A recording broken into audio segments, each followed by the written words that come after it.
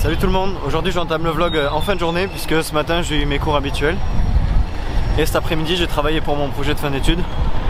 Donc là normalement vous devez reconnaître, c'est la Lifey derrière moi et on a décidé de sortir en fin de journée avec des Français juste pour aller trouver un bar et finir la journée tranquillement. Voilà, j'ai essayé de faire quelques plans euh, de la ville euh, en fin de journée, c'est assez joli.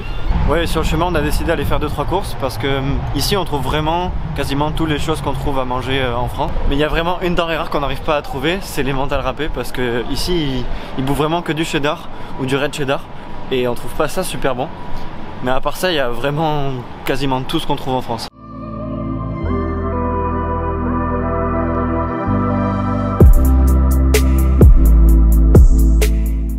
On est vraiment dégoûté parce que à fur et à mesure qu'on marche, même si on le savait, on voit qu'il y a de plus en plus de bars qui sont fermés. On peut vraiment plus s'installer en terrasse ou quoi comme avant. Ça devient vraiment pesant. On va essayer de retourner à un bar où on allait déjà hier parce qu'il était ouvert.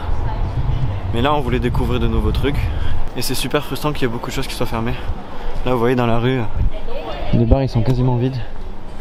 Il y en a beaucoup qui sont fermés. Pourtant, ici, c'est un peu le bar. Et c'est vraiment euh, la rue la plus remplie de bars habituellement.